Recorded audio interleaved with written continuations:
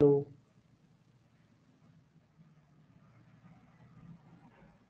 Hello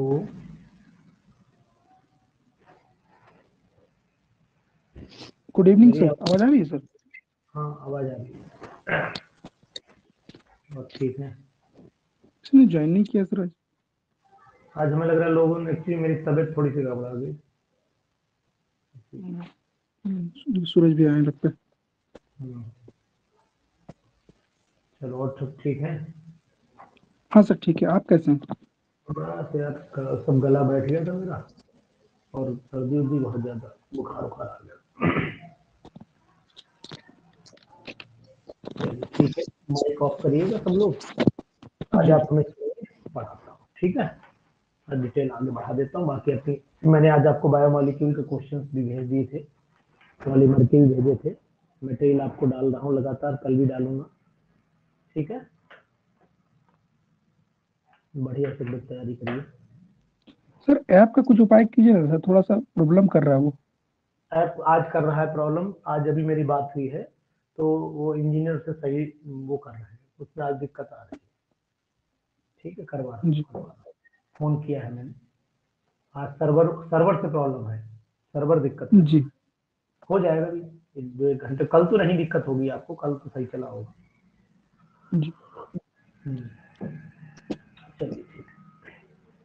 question आपको मिल रहे हैं नित्य बाबू जी? क्वेश्चन मिल रहे हैं आपको?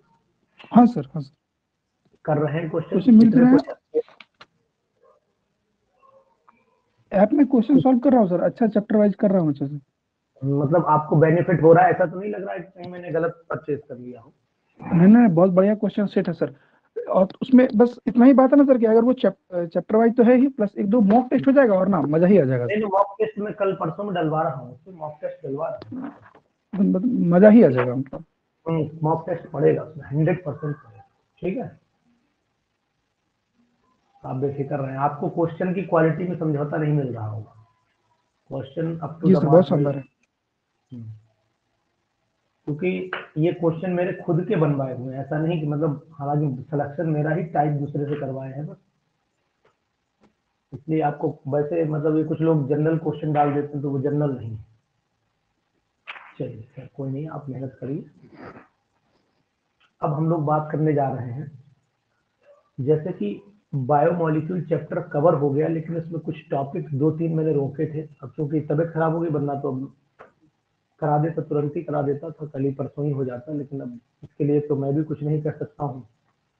और क्या कहूँ इसके लिए, तबीयत तो किसी की भी खराब हो सकती है। फिर भी मैंने सोचा, आज आपको पढ़ाऊँगा। मन मेरा नहीं माना। हालाँकि उतना गला मेरा बढ़िया नहीं, शरीर नहीं ताकत दे रहा है लेकिन फिर भी, क्योंकि आपके पेपर हैं, उसकी चिंता आपसे ज़्यादा मुझे है। तो सबसे पहले मैं आपसे बात कर लेता हूँ। अब आप लोग डिस्टर्ब ना करिएगा, बस सुनते रहिए। सुनते रहिएगा। ठीक है? आवाज़ मेरी कहीं ना आए तो मुझे बताइएगा। देखिए सबसे पहले क्या होता है? हमें एक सीरीज़ पढ़नी है। असेंडिंग सीरीज़ स्क्रीन शेयर हो गई। असेंडिंग सीरीज़ पढ़नी है। मेरी वॉइस आ रही है ना? हेलो जी सर आ रही है। ठीक। है एक तो हमें असेंडिंग सीरीज़ पढ़नी है और असेंडिंग सीरीज़ में अगर हम ये कहें कि किसकी पढ़नी तो असेंडिंग सीरीज़ ऑफ़ एल्डोज में लिख देता हूँ। एल्डोज की पढ़नी, एक बात। दूसरी बात, इसको एक नाम से पेपर में और आ सकती है, जिसका नाम है किलियानी फिशर सिंथेसिस बहुत ही इंपॉर्टेंट नाम है। साइंटिस्ट का नाम है, क्या नाम है? Kiliani E K I L I A Kiliani Fischer synthesis F I S C H E R Fischer synthesis के नाम से भी ये पेपर में आ सकती है। आपके जो सिलेबस में दिया है, उन्होंने एक नाम से दिया है। किस नाम से दिया है? बताओ इंक्रीजिंग कार्बन चेन की जो लेंथ है है ना? Increasing length of the carbon chain of aldohexose and ketohexose के नाम से दिया हुआ बड़ा बढ़िया टॉपिक है इंपॉर्टेंट टॉपिक है। और खासकर मैं आपको बताऊँ, आपके झारखंड के लिए तो है ही ये। झारखंड, अब आप सुनते रहिएगा आज। झारखंड के लिए तो है ही, लेकिन यूपी पीजीटी का भी एक बहुत इंपॉर्टेंट ये क्वेश्चन है। कैसे हम लोग किलियानी फिशर सिंथेसिस को करते हैं, इस चीज़ को आप समझिएगा। देखिए, सबसे पहले हम क्या करते हैं, इसमें एक अरेबिनोज ले लेते हैं। जरा ध्यान दीजिएगा, जो मैं समझा रहा हूँ, उसे समझने की कोशिश करिएगा। मैंने यहाँ पर अरेबिनोज ले लिया। और अरेबिनोज का जो फार्मूला होता है, वो आपका ये होता है, यहाँ लिखा मैंने सी एच ओ देखो जो सी एच ओ लिखा है। इधर मैं एच ले लेता हूँ, इधर मैं ओ OH ले लेता हूँ। ये माइनस फॉर्म में है, मैंने आपको बताया था कि जब लेफ़्ट हैंड साइड पे ओ OH होता है तो नेगेटिव फॉर्म रहती है। यहाँ पर सी हो गया, यहाँ एच हो गया, यहाँ ओ OH हो गया, फिर यहाँ पर एच हो गया, फिर यहाँ पर ओ OH हो गया, और यहाँ पर आपका आ गया वही C H two O H this is called ये डी फॉर्म है क्योंकि CH2OH के रिस्पेक्ट में अगर देखो तो OH ग्रुप जो है वो राइट हैंड साइड में है।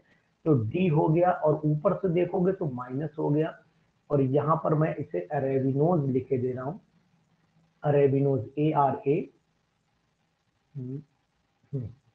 A R A arabinose नाम मैंने दिया। अब अगर आप ध्यान से देखेंगे तो मैं इस पे एच सी डाल देता हूँ। जैसे ही मैं इस पे एच सी डालूँगा तो सूरज अगर लाइन पे है तो सूरज भैया ये बताओ आपको पता होगा कि ये बॉन्ड इधर मूव करेगा ये ओ OH हो जाएगा ये एच रह गया ऊपर सी एन जुड़ जाएगा। इतनी बात सूरज तो जान रहे होगा।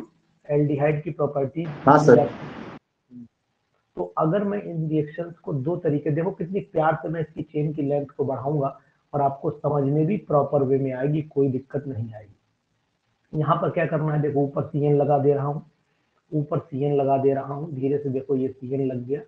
नीचे चले आइए यहाँ पर ओ OH हो गया राइट हैंड साइड में ये आपका एच हो गया बदल गया सिस्टम ही बदल गया इसका एच हो गया फिर यहाँ पर एच हो गया फिर यहाँ पर ओ OH हो गया फिर यहाँ पर ओ OH हो गया फिर यहाँ पर एच हो गया और फिर यहाँ पर ओ OH हो गया और फिर यहाँ पर एच हो गया and then C H two O H हो गया एक तो तरीका ये भी हो सकता है और दूसरा तरीका आपके दिमाग में चल रहा होगा सर हम ऐसा ना बना के अगर मान लो ओ OH उधर जोड़ दें तो मान लीजिए कि ऐसे भी बन सकता है सीएन ऊपर लग गया, फिर इधर एच हो गया, इधर ओ OH हो गया मतलब पहले वाले को चेंज करा जहाँ पर मेरा कर्सर घूम रहा है, बाकी हम कोई चेंज नहीं कर रहे जैसा है वैसा ही बनाएँगे, कोई चेंज नहीं करेंगे। नीचे, यानी इतना हिस्सा जो है, जिसे मैं नीले पेन से डॉट डॉट दिखा रहा हूँ, इतने हिस्से पे मैंने कोई परिवर्तन नहीं करना है।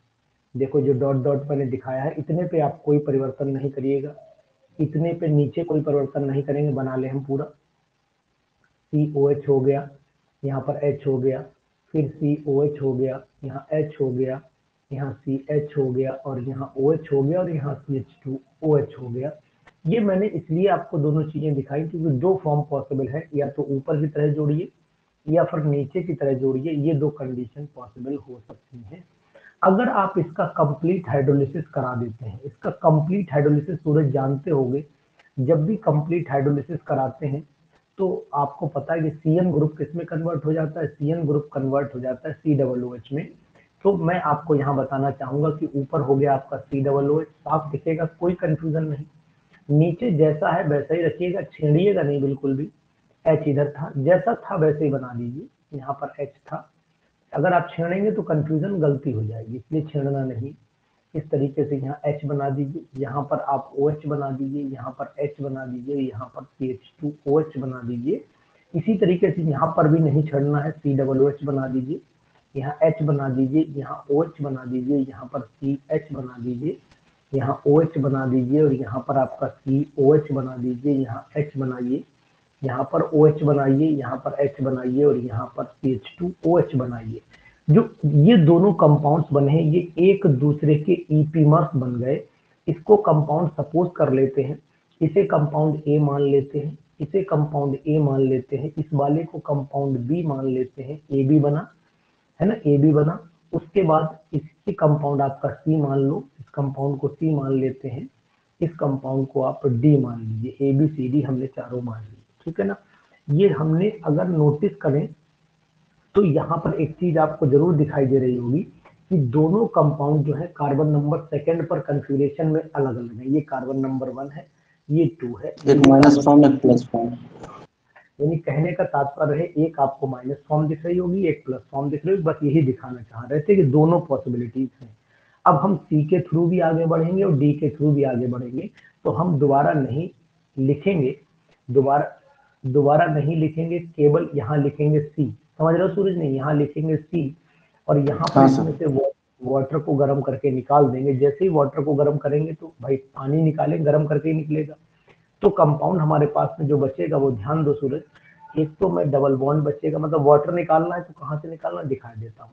यहाँ से ओ OH ले लेना। वहाँ से OH नि- OH निकालेंगे नीचे से हाइड्रोजन निकालेंगे। चौथे नंबर चौथे नंबर से निकालना ध्यान रखना। हाँ। से ये ध्यान रखिएगा। हम्म, तो इसका मतलब है हमारे पास कंपाउंड आ गया है। यहाँ पर सी आ गया, यहाँ पर एच आ गया। अब देखते रहिए, यहाँ पर ओ OH आ गया। मैं बना रहा हूँ, कहीं गलती लगे बताना कि सर आपने यहाँ गलत कर दिया। यहाँ पर ओ OH आ गया। इस तरीके से यहाँ पर आपने H, चौथे नंबर मैंने पहले ही बोल चुका हूँ तो चौथे का ध्यान रखना पड़ेगा। यहाँ पर एच हो गया, यहाँ पर आपका C H two O H हो गया। जितनी मैंने आपको भी पढ़ा दिया इस पर तैयारी पे, बिल्कुल भरोसे के साथ आप मेहनत करते रहिए। मतलब जितने आप जहाँ पर हैं इस समय अब बहुत ज़्यादा परेशान होने की आपको ज़रूरत नहीं पड़ेगी, जहाँ तक मुझे लगता है। परेशान नहीं होइए पेशेंस ना लूज करिएगा। पेशेंस लूज करेंगे तो हड़बड़ा जाएँगे हड़बड़ाने में ही गलती होती है।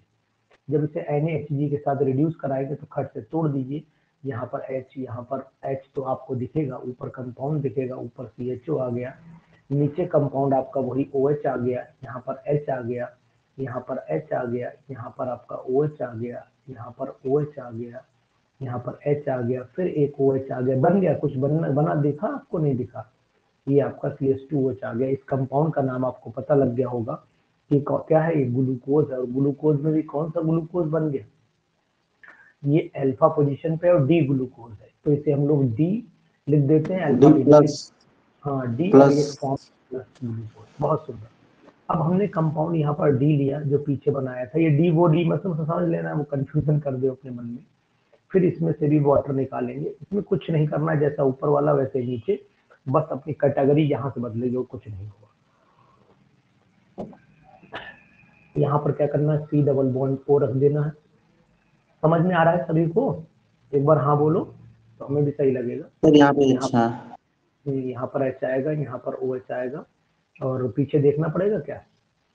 देखो अल्टरनेट चलना नहीं। नीचे वाले सर तीन नीचे सर जो डी एरोबनोज का जो स्ट्रक्चर बनाया वहाँ पे थर्ड कार्बन पे ओ एच राइट साइड होगा कि लेफ़्ट साइड होगा नहीं वो सही लिखा है। वन टू थ्री राइट ही सही लिखा है। दो सेम रहता है। ठीक लिखा है।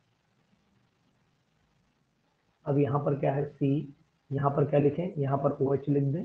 नहीं यहाँ पर एच ही आएगा। शायद देखो हाँ एच ही आएगा। दो एच है ना? दो एच है तो यहाँ पर भी एच ही आएगा।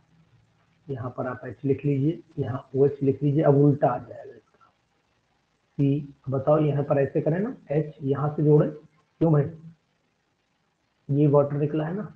हाँ ठीक है। उसके बाद सी ओ एच आ गया, फिर एच आ गया, फिर ये फोर्थ नंबर से ध्यान रखना गलती नहीं होगी इसे भी एन के साथ में रिड्यूस करा दो। एन के साथ में रिड्यूस कराओ एक तो CO2 निकाल दो और हाइड्रोजन डाल दो इसमें एक एच इधर और एक एच इधर। कंपाउंड बताओ। सी एच ओ बना यहाँ सी एच इधर आ जाएगा ओ एच इधर आ जाएगा। डी माइनस आ जाएगा। एच हो गया इधर बताओ। ओ एच हो गया इधर बताओ। ओ एच हो गया इधर एच हो गया इधर ओ एच हो गया इधर एच हो गया इधर आपका C H two O H हो गया। इसे हम लोग क्या बोलते हैं?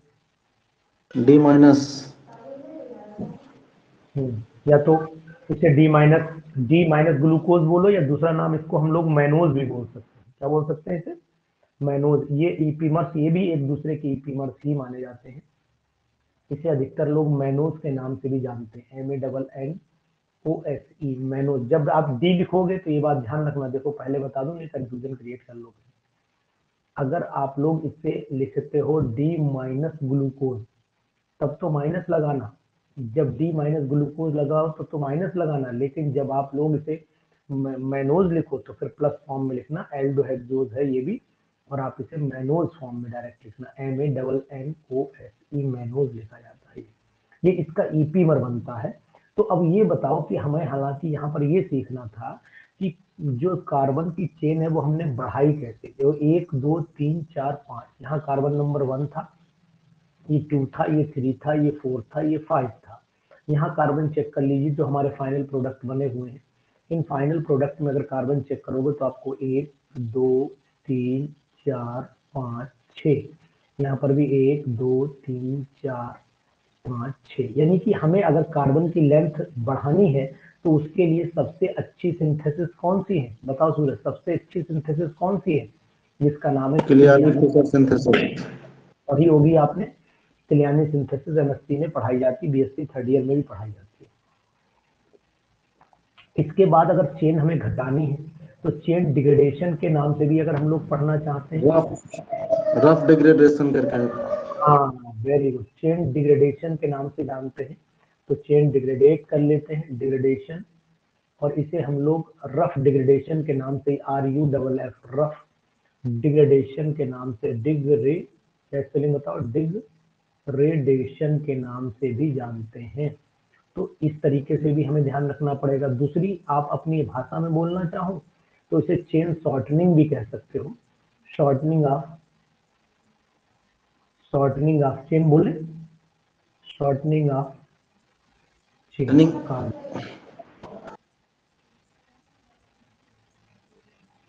Carbon chain important है ये भी। अब आपके सिलेबस में है तो इम्पोर्टेंट है। अब देखो मुझे करना क्या है। यहाँ पर मुझे सी एच ओ लेना है। देखो ध्यान से, आज का क्लास आपका बिल्कुल इम्पोर्टेंट क्लास बनेगा, तय है। ये ओ एच इसलिए मैंने अलग पढ़ाया मिक्सचर नहीं किया। बिल्कुल सेपरेट रखा है इस पोर्शन को, क्योंकि यहाँ से मुझे नाम की चिंता है कि नाम आ सकता है। क्लियानी सिंथेसिस कहाँ यूज़ होती है? रफ डिग्रेडेशन कहाँ यूज़ होता है? ये चीज़ आ सकती है एग्ज़ाम में।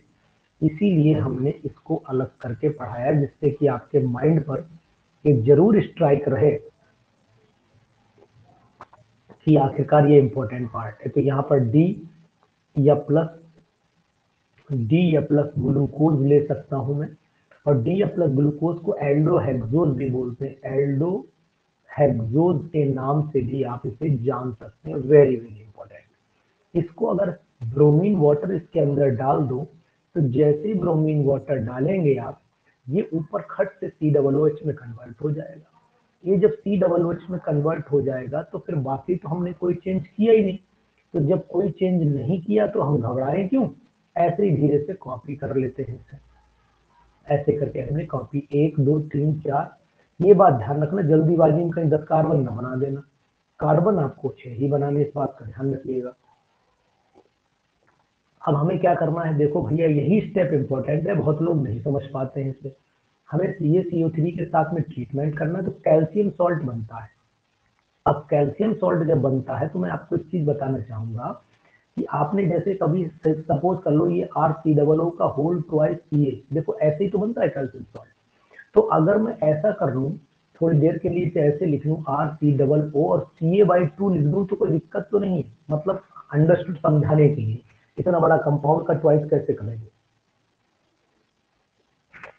समझ रहे हो ना? इतने बड़े कंपाउंड का ट्वाइस नहीं करेंगे इसीलिए हम इसको ऐसा कर रहे हैं। आवाज़ आ रही मेरी? वॉइस आ रही है? सर। सर। तो अब तो हाफ़? लेंगे कैल- कैल्शियम कार्बोनेट का हाफ़ लेंगे सर। हाँ हाफ़ हम लोग यूज़ करेंगे मतलब समझाने के लिए बाकी मैंने आपको बता दिया तो यहाँ पर सी डबल ओ और सी ए बाई टू में कर दूँगा जिससे कि आपको समझ बाकी नीचे चेंज नहीं नहीं तो पूरे का होल ट्वाइस करना पड़ेगा मुझे। इसलिए मैं कर रहा हूँ अदरवाइज़ आप चाहो तो कर सकते हो। होल ट्वाइस मुझे ऐतराज नहीं मैं समझाने के पर्पज से कर रहा हूँ कि आपको ज़्यादा ना लिखना पड़े, और ये वैलिड है। ऐसा भी नहीं कि मैं कोई इनवैलिड काम करूँ, जिससे कि आपको समझ में ना आए। ये मैंने लिखा। अब जैसे ही मैं इसे हीट करूँगा तो आप जानते हो कैल्शियम सॉल्ट जब भी गर्म किए जाते हैं तो एल्डिहाइड में कन्वर्ट होता कैल्शियम फॉर्मेट होता। कैल्शियम फॉर्मेट होता तो खट से कन्वर्ट हो जाता तो इसे यहीं से ब्रेक कर दीजिए। यहाँ से यहाँ से निकाल दीजिए सी ए सी ओ थ्री के फॉर्म में निकलेगा लेकिन रिएजेंट कौन सा चाहिए होगा वो याद रखना। एक तो आपको फेरिक सल्फेट चाहिए होगा F E two S O four का। होल थ्राइस चाहिए होगा। वाटर एक्वा सोल्यूशन और उसके बाद 100 डिग्री सेल्सियस पे गर्म कर देना और थोड़ा सा इसमें हाइड्रोजन पेरोक्साइड लगभग 30 परसेंट का डाल देना। जैसे ही डालोगे तो ऊपर कंपाउंड खट पे ये वाला ग्रुप कटा ये वाला चेंज हुआ ऑक्सीडाइज हुआ। एच टू ओ टू कर दीजिए सर हम्म? नीचे ओ टू ओ टू यहाँ पर हो गया आपका सी एच ओ यहाँ पर हो गया आपका सी एच एक ऊपर से ये वाले मुंडी उड़ा देना, इस वाले को सी एच ओ में कन्वर्ट कर देना। यहाँ पर ओ एच आपको दिख ही रहा है। वैसे जैसा है, वैसे कॉपी कर दो, कुछ करो मत। यहाँ पर हो गया, यहाँ सी ओ एच हो गया, यहाँ एच हो गया, और लास्ट में C H two O H इसको फिर वही बन गया जो पहले था अरेबिनोज नोट करिए। वही बना ना? अरेबिनोज बन गया जो पहले शुरुआत में हमने उठाया था, वही कंपाउंड एक, दो, तीन, चार, पाँच कार्बन का कंपाउंड है। ये एल्डो पेंटोज के नाम से भी जाना जाता है। एल्डो पेंटोज के नाम से भी जाना जाता है। Very very important reaction for the examination अब आपको एक इंपॉर्टेंट बात बता देता हूँ। नोट कर लो कहीं पर। कॉपी पेन अगर लेके बैठे हो तो नोट कर लो। क्या माना, ये माना जाता है कि इसमें मेटल आयन जो होता है, वो इलेक्ट्रॉन ट्रांसफ़र एजेंट का काम करता है। तो इन दिस रिएक्शन यानी लिख देता हूँ in this reaction in this reaction metal ion metal ion act as act as electron transfer agent है ना? पूछ ले कहीं धोखे से पेपर में इलेक्ट्रॉन ट्रांसफ़र पूछ भी सकते हैं ना? सूरज पूछ सकते हैं इलेक्ट्रॉन ट्रांसफ़र एजेंट तो इलेक्ट्रॉन ट्रांसफ़र एजेंट की तरह कौन काम करता है? तो बताना कि मेटल आयन जो है वो इलेक्ट्रॉन ट्रांसफ़र एजेंट की तरह भैया काम करता है, इसलिए ध्यान दीजिएगा, बहुत बहुत ही इंपॉर्टेंट रिएक्शन है इसमें, ठीक है ना? अब होता क्या है? फिर बोल देता हूँ, आपको समझा भी देता हूँ इसमें कि एक्चुअल में जो मेटल आयन बनता है, ये कार्बोक्सिल जो फ्री रेडिकल है, उसको, उसके OH ग्रुप को कैप्चर करके फ्री रेडिकल OH का फ्री रेडिकल बनाएगा और कार्बोक्सिलिक एसिड का, और क्या कर देगा उसे?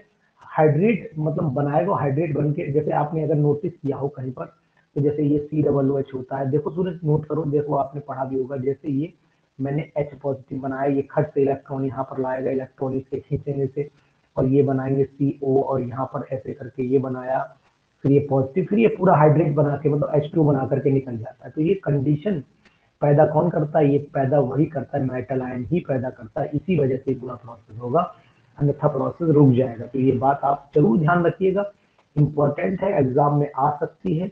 कि इस रिएक्शन में मेटल आयन का रोल क्या है मेटल आयन करता क्या है? तो आप बताना कि मेटल आयन जो है वो इलेक्ट्रॉन ट्रांसफ़र के लिए काम करता है। इस बात का विशेष आपको ध्यान रखना। जो फेरिक सल्फेट हाइड्रोजन पेरोक्साइड उसका कुछ नाम भी है क्या?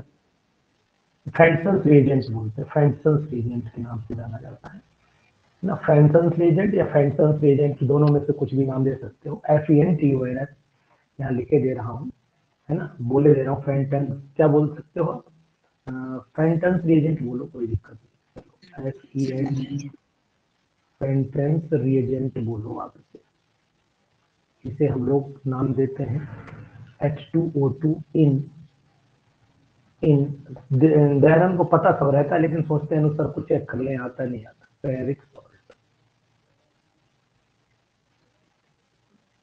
नहीं सर बीएससी में पढ़े थे तो वही तो कंफर्म करना कि है कि नहीं याद नहीं ना रहता है। बस याद होगा यार तुम्हें बजान भाव याद। नहीं सर वैसे नहीं है।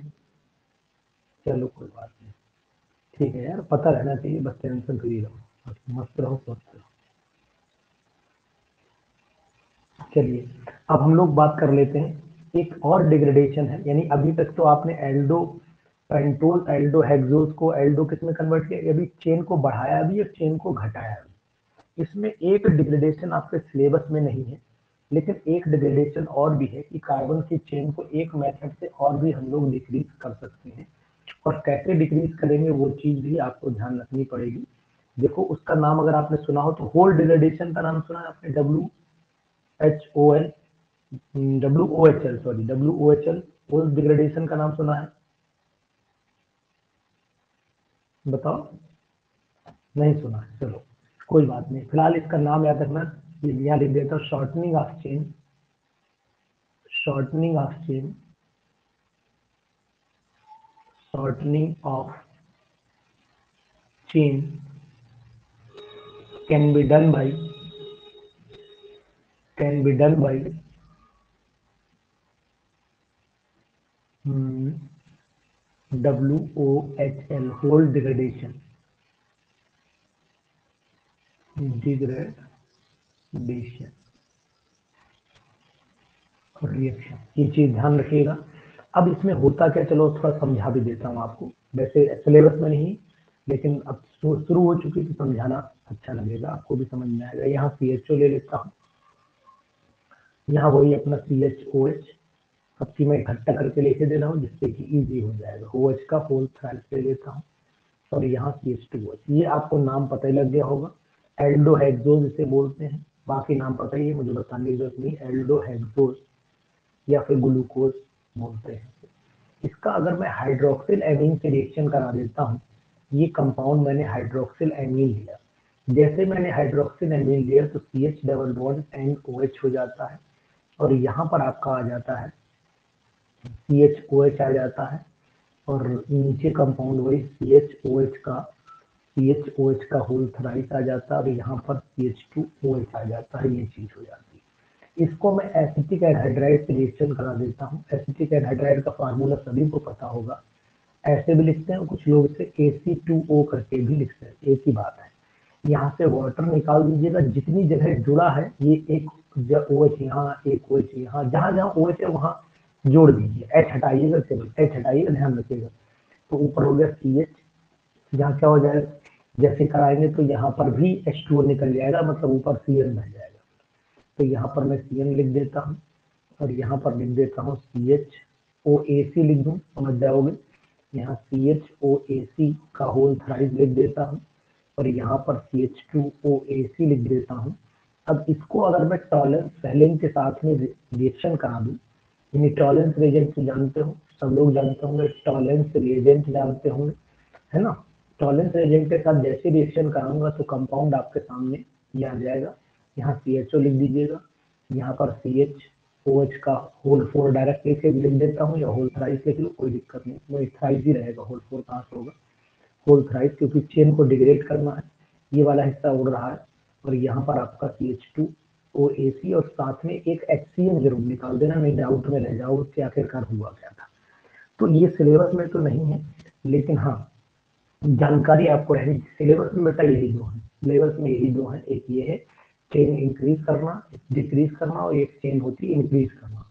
इन दो में से एक फिर आप ये मान के चलो कि एग्जामिनेशन 2000 2022 में एग्ज़ाम में मिलनी तय है। एक रिएक्शन चाहे ये मिले इनमें से चाहे नाम पूछ ले, चाहे आपसे डिग्रेडेशन का नाम पूछे, चाहे सिंथेसिस पूछे, चाहे सॉर्टिंग ऑफ़ कार्बन चेन पूछे, चाहे increasing of the carbon chain पूछे, कुछ भी पूछेंगे, पूछा जा सकता है, ध्यान रखिएगा। आपके सिलेबस का ये था सिस्टम लेकिन कुछ चीज़ें मुझे अपनी तरफ़ से भी बतानी है। मुझे अपनी तरफ़ से बतानी है जो आपको याद रखनी पड़ेगी। जैसे अगर आपसे पूछते हैं एग्लाइकोन क्या चीज़ होती है? What is aglycone A G L Y C O N कोई बताएगा व्हाट इज़ एग्लाइकोन कोई अगर बताता है तो मुझे अच्छा लगेगा व्हाट इज़ एग्लाइकोन बोलो। क्वेश्चन है मेरा what is what is sir G L Y C O N E what is aglycone very very important जी बताएँ कोई लोग। एग्लाइकोन क्या होता है? बोलिए। नहीं पता। कौन बताएगा सूरज बताओ। बिंदु नहीं पता। कार्तिक बोली कोई नहीं बोल रहा चलिए। कम से कम यही बोल दिया करो कि सर। देखिए यहाँ पर एक चीज़ आपकी और आ रही है।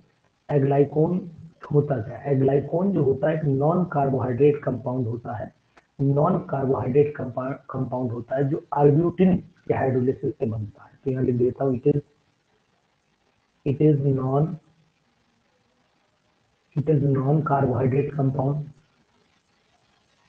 non carbohydrate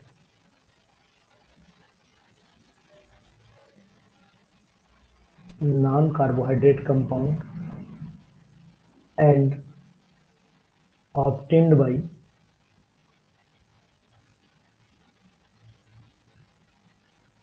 hydrolysis of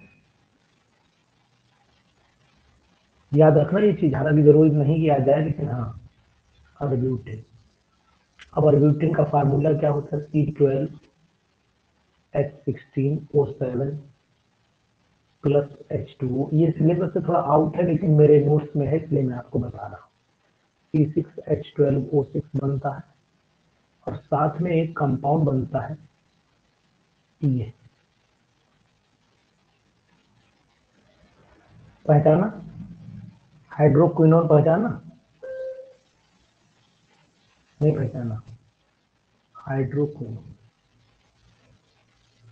क्यों भाई हाइड्रोक्विनोल पहचाना फिर नहीं? नहीं पहचाना।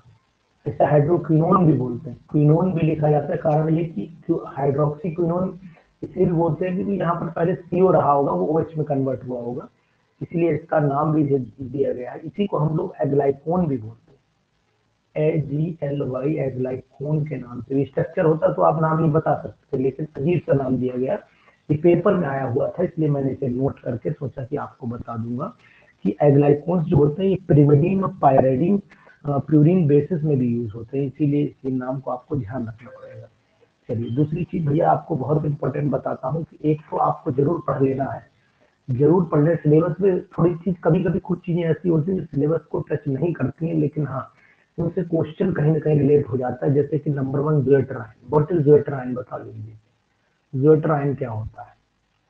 जल्दी बताइए फटाफट। वॉट इज़ ज्वेटराइन ज्वेटराइन क्या होता है? तो आपको मैं बताना चाहूँगा कि अगर मैं ग्लाइसिन को लेता हूँ N H two C S two C double O H को लेता हूँ, इसको मैं क्या करता हूँ? इसको आयोनाइज करता हूँ जैसे आयोनाइज करूँगा तो आपका कंपाउंड बनेगा N H two C H two C double O negative बनता है एच पॉजिटिव सूर्य समझ में आ रहा है। एच पॉजिटिव बनता है। तो इस एच पॉजिटिव को ला करके मैं इसी पे अटैक करा देता हूँ तो नेक्स्ट स्टेप का जो कंपाउंड बनेगा। आवाज़ मेरी आ रही है नेक्स्ट कंपाउंड जो बनेगा वो कंपाउंड हाँ, क्या बनेगा एन एच थ्री पॉजिटिव बनेगा और यहाँ पर C H two C double O negative बनेगा। ऐसा मॉलिक्यूल जिसके दोनों किनारों पर अपोजिट चार्ज हो इसको हम लोग डाईपोलर हाँ डाईपोलर बोलते हैं। या इससे हम लोग क्या बोलते हैं? ज्वेटर आयन के नाम से भी जानते हैं। ज्वेटर आयन के नाम से भी जानते हैं। एक मिनट यार हेलो हेलो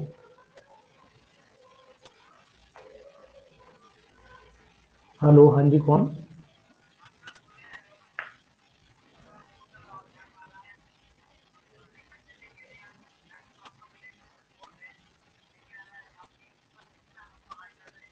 अभी मैं क्लास ले रहा हूँ, मैं आपसे बाद में बात करता हूँ, ठीक है? दस बजे के बाद आप मुझे कॉल करिए मैसेज कर दीजिएगा, ठीक है? ओके देखिए क्या करना है।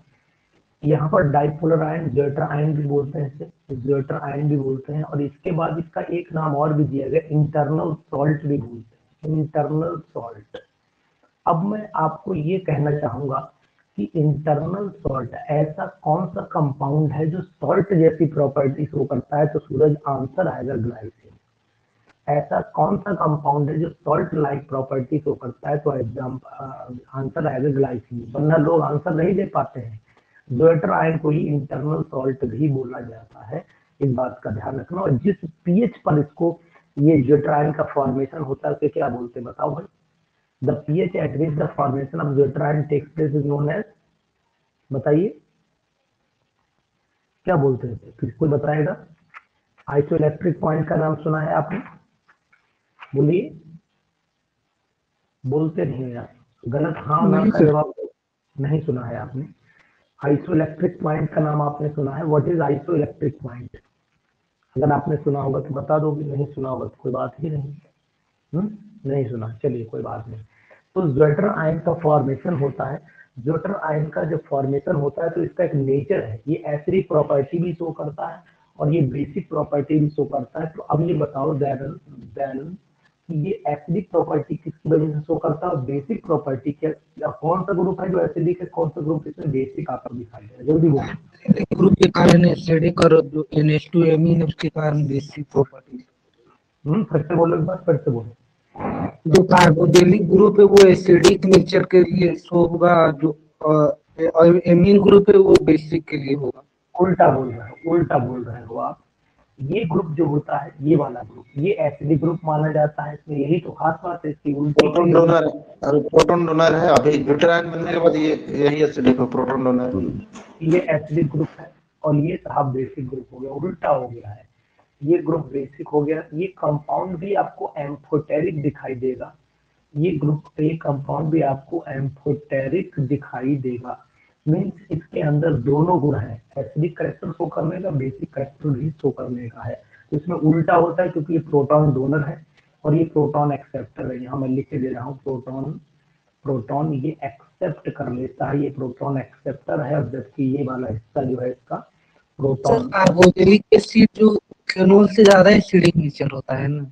हाँ वो तो अलग चीज़ हाँ वो तो अलग चीज़ है होता है सही तो। इसीलिए तो यहाँ कॉन्सेप्ट लग रहे थे नहीं नहीं वो नहीं लगेगा यहाँ यहाँ यहाँ पे नेगेटिव आयन है ना तो वो H प्लस गेन कर लेगा जो पॉजिटिव एंड है वो H प्लस लूज कर लेगा। अब एक मैंने बोला भी स्टार बना करके मैंने बोला भी था जिस पीएच पर था मैं भाई जिस पीएच पर ज्वेटर आयन का फॉर्मेशन होता है जिस पीएच पर ज्वेटर आयन का फॉर्मेशन होता है इसी को हम लोग क्या बोलते हैं? आइसोइलेक्ट्रिक पॉइंट बोलते हैं। तो अगर आपको डेफिनेशन निकालनी हो कि व्हाट इज़ आइसोइलेक्ट्रिक पॉइंट तो डेफिनेशन आप लोग दे सकते हो। The pH at which the pH at which the formation of the Jeter ion takes place is known as the isoelectric point भी बोलते हैं अमीनो एसिड पॉइंट भी बोलते हैं इसे। सर इसको ऐड कर दीजिए ना नोट्स में। नहीं नहीं जोड़ जोड़ रहा हूँ लिख रहा हूँ।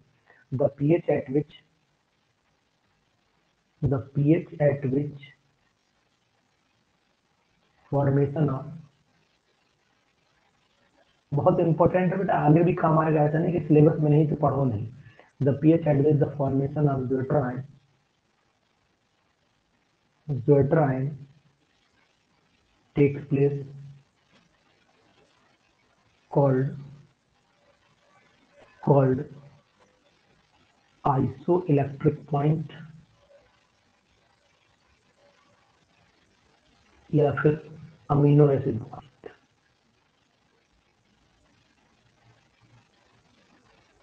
या फिर इसे अमीनो एसिड पॉइंट के नाम से भी जाना जाता है, ध्यान रखिए।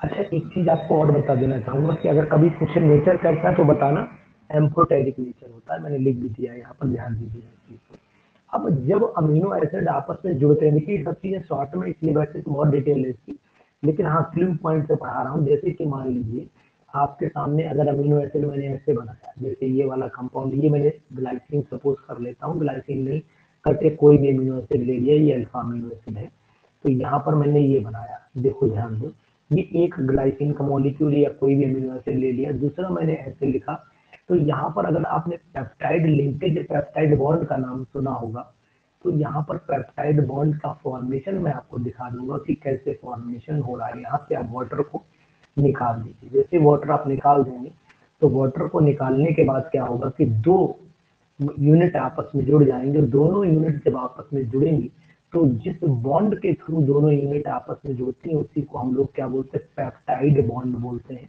अभी मैं आपको दिखा भी दे रहा हूँ है। हाँ, हाँ एमाइड लिंकेज या पेप्टाइड बॉन्ड के नाम से जाना जाता है। तो ये हिस्सा जो आपको मैं व्हाइट कलर या रेड कलर से दिखा रहा हूँ ये इतना हिस्सा अगर कहीं आपको दिखता है तो ये एमाइड या पेप्टाइड बॉन्ड ठीक है बोला जाता है। एमाइड लिंकेज भी बोलते हैं।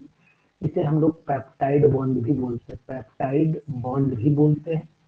और इसको हम लोग एमाइड लिंकेज के नाम से भी क्यों सूरज एमाइड लिंकेज के नाम से भी जानते हैं। हम्म, एमाइड एमाइड लिंकेज के नाम से भी पेपर्स में आया हुआ है ये। लेकिन अगर इसी के बहुत सारे molecules number of the molecules combine कर दें number of molecules number of the units कर देते हैं नंबर ऑफ़ द यूनिट्स और कलर से लिख देता हूँ।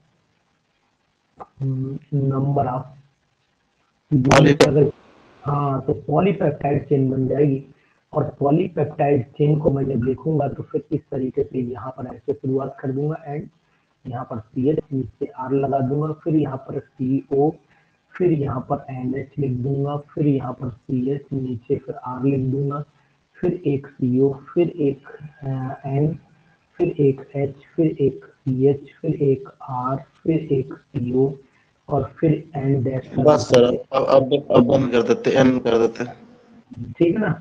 तो यूनिट बार बार रिपीट होती रहेंगी इसीलिए इसको हम लोग पॉलीपेप्टाइड चेन कहते हैं और इसी polypeptide chain of alpha amino acid polypeptide chain of alpha amino acid को ही प्रोटीन का नाम दिया गया पॉलीपेप्टाइड चेन में हाइड्रोजन बॉन्डिंग पॉसिबल है क्या?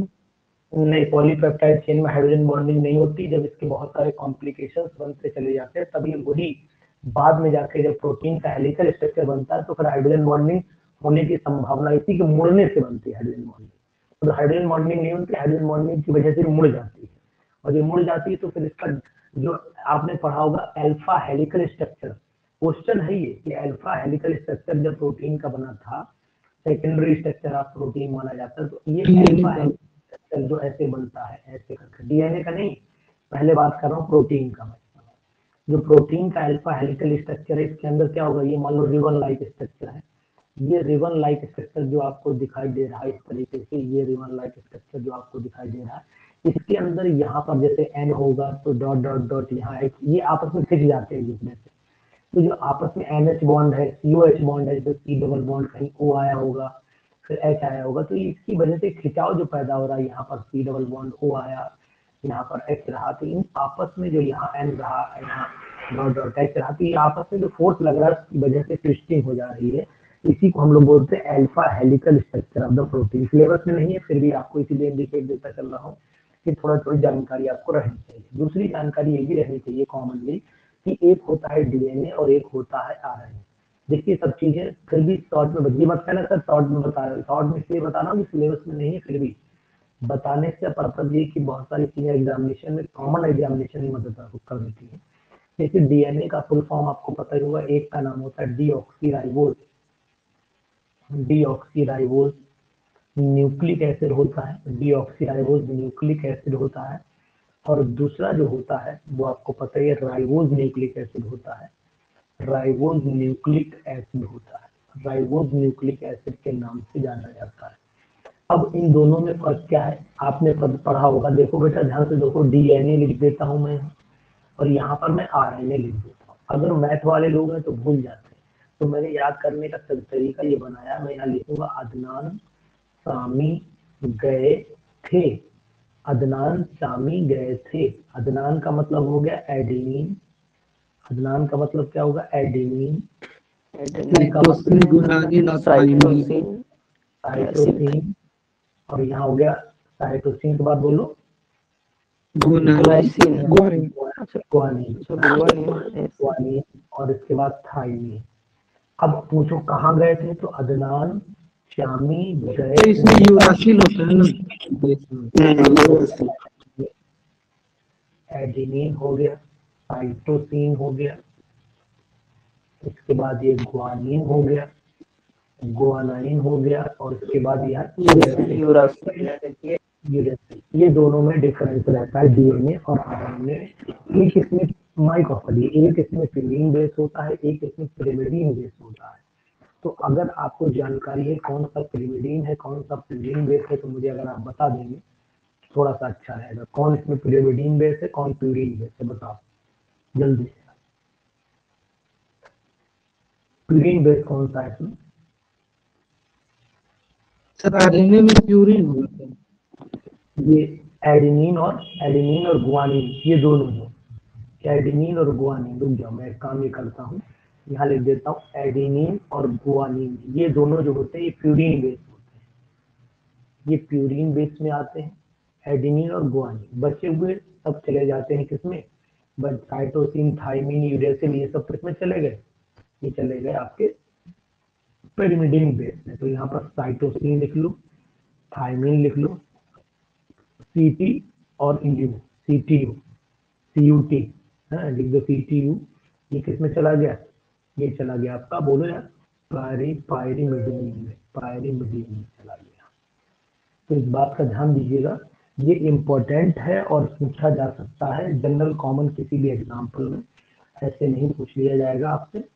ऐसे नहीं पूछा जाएगा, लेकिन हाँ कहीं ना कहीं भाई आपका सिलेबस में है तो उम्मीद है कि नहीं आएगा। उम्मीद है कि नहीं आएगा, लेकिन हाँ ये बात ध्यान रखिए कि इस पर आपको मेहनत थोड़ी ज़्यादा इसलिए करनी पड़ सकती है कहीं छोटे छोटे क्वेश्चन नॉलेज मतलब सामान्य विज्ञान में कहीं पेपर देने गए नवोदय का दिया नवोदय का भर रखा है, लोगों ने भर रखा है। नवोदय भरा है, नहीं भरा है?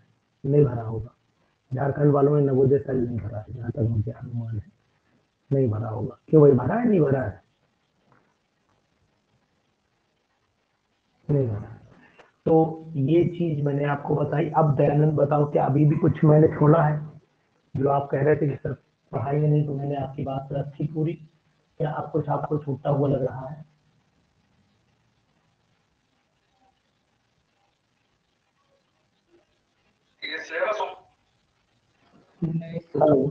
नहीं चलिए ठीक है।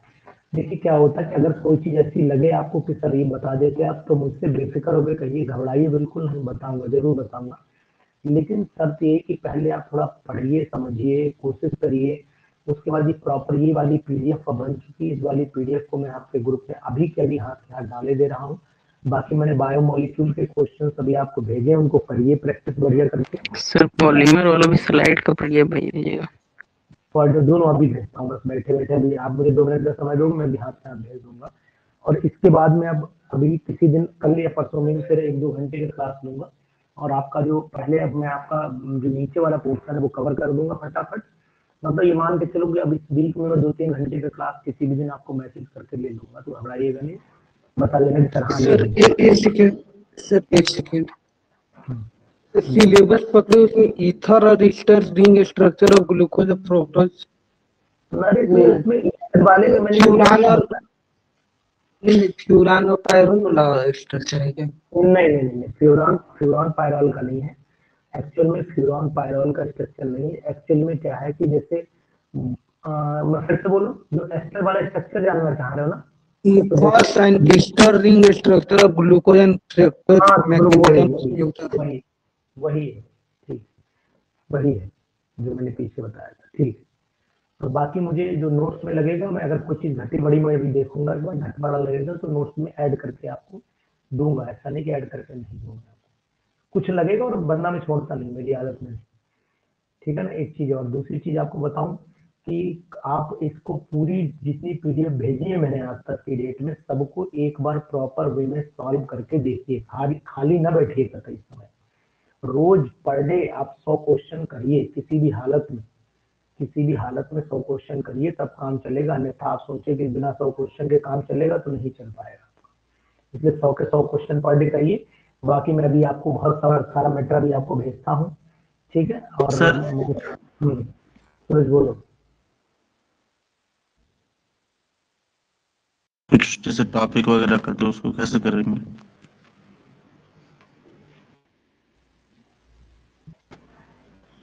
आवाज़ कट रही आप हाँ सर कह रहा था ना कि कुछ क्वेश्चंस में डाउट रह जाता है सॉल्व करने के बाद तो उसके लिए क्या किया जाए?